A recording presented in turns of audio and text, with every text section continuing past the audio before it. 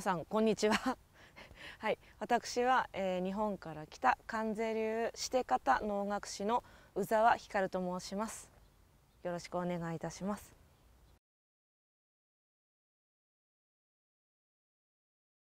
能というのはあの皆さんご存知かわからないんですけれども、えー、現実に、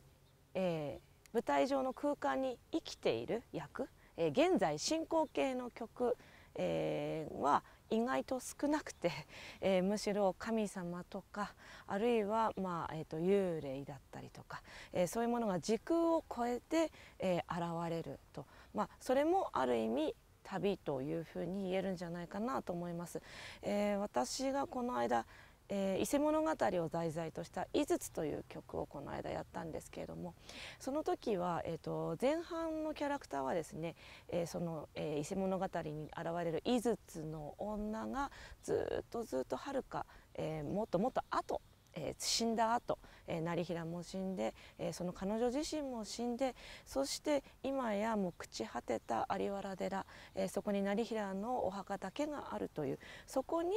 未だ死んでずっと時間が経ったのに未だにずっと花を手向けに水を手向けにあ水を手向けにか。ずっと現れ続ける、えー、それはある意味、えー、なんだろう。別世界死後の世界から、えー、今のその、えー、など現在に向けて、えー、移動していく。それは幕から、えー、ずっと、えー、舞台の中に、えー、幕から橋がかりという廊下のようなものがの舞台はついてるんですけどもそこからずっと舞台の中に歩んでいく時間というのが、まあ、ある意味えーとまあ、時空を超えている時間。でもちろん後ろに引っ張られている。力もあるんですけれども同時にその今のこの今の世の中に出ていきたいっていう前に出ようという気持ちと後ろに引っ張られてるその均衡の中でずっとずっと歩んでいくということでその長い時間というものを、え超えていくというような表現ができているんじゃないかなというふうに思います。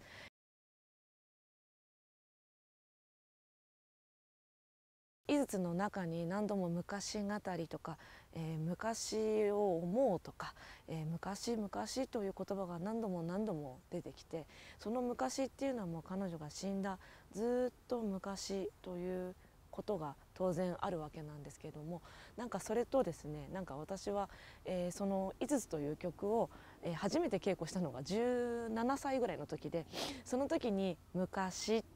感じた昔っっていうものと、えー、今40になって 初めあのやった井筒というものの昔というものの時空の考え方がすごく変わっていて、えー、それを稽古する中で、えー、やっぱりそのや能というのは、えー、ただ単に脚本があって、えーと、台本があってそれをただ単に演じるというだけではなくて自分の人生というものも、えーと役者の人生というものもそれに十分こう重なってきて、えー、重なってくるものなんだなというのを今回の「井筒」をやってすごく実感しまして「あの清常」という曲の中に「この世とても旅ぞかし」っていう、えー、この世はこの世は旅のようなものだっていう言葉があるんですけどもそれをちょっとなんかすごく実感したような気がしました。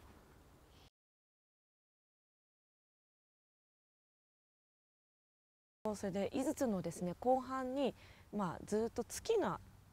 何度も何度も月という言葉が出てきて月というものは変わらないもの普遍的なものの象徴象徴と象徴とも言えるんですけどもその月は変わらないのに私たちは変わっている時代は変わっているというふうに、まあ、歌いながら彼女が、えーと、後の、えー、主役ですね後してがぐるっと舞台をこう一周してそしてまた真ん中のところに戻ってきてそうしてそこで正面に立った時には彼女のその思い出の井筒井戸が前にある。そこにぐるっと戻ってきてそこの前に立つ。これはある意味こう時代を